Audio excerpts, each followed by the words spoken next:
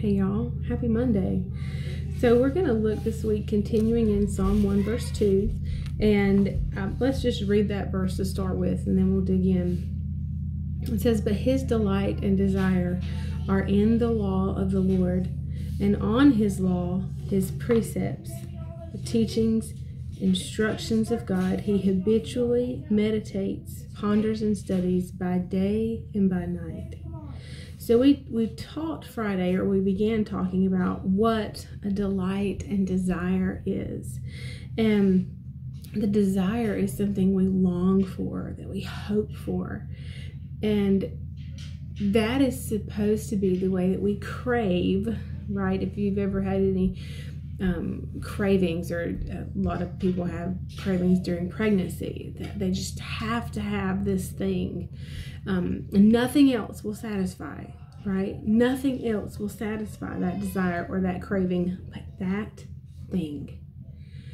And that is how we are supposed to be over the law of the Lord, which the law of the Lord is just his way of doing and being right.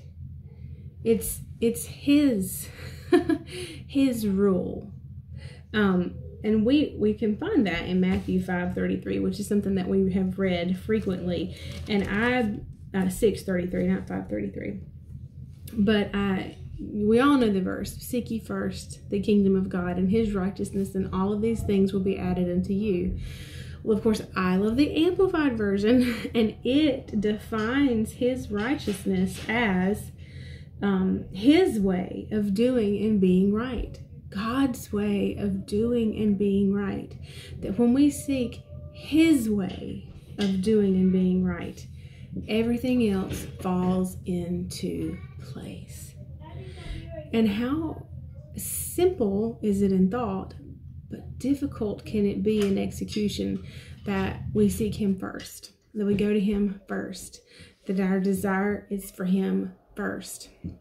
You know, I think that's probably one reason that, um, you know, in the Ten Commandments, so let's just swing over there. This was not the direction I intended to go, but that's the way we're going to go. Um, you know, the very first um, commandment is you shall love the Lord your God with all of your heart. I was looking.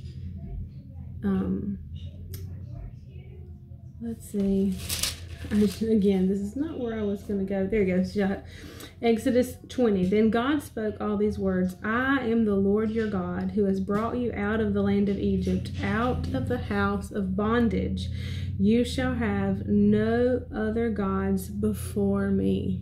Gods, of course, little g. You shall have no other gods before me. You should seek nothing else before me or over and above me. And you know, a lot of times we we do seek other things and other people first, not even realizing that we have placed it before God, that we are seeking something other than Him. But our delight and our desire, our craving is to be for Him and His way of doing and being right. You know, in the Old Testament, which of course this psalm was written, it's his delight and desire in the law of the Lord. That law is Torah.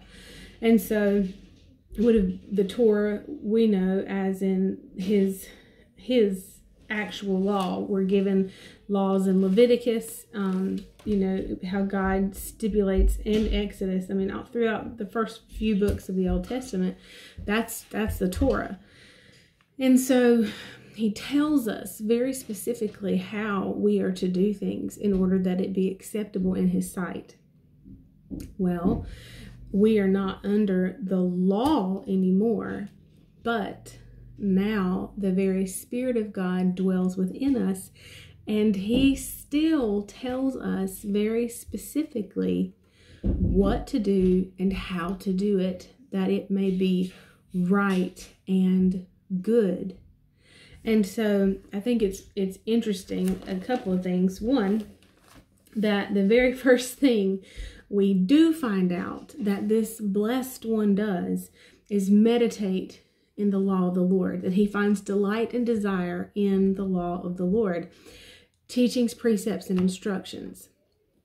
And what we have just found out that the ungodly do is that they are seeking counsel, right, of the ungodly, following their advice, plans, and purposes. Where the we're looking at two different places of getting our information and our knowledge.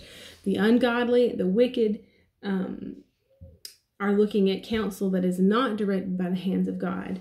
And the very first thing, but the blessed one finds his delight and desire in God's way of doing and being right.